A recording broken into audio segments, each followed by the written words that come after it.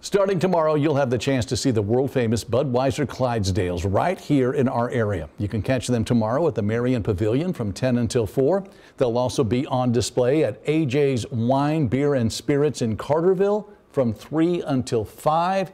You'll have other chances to see the Clydesdales at locations throughout the week, and we have a list of those locations on our website.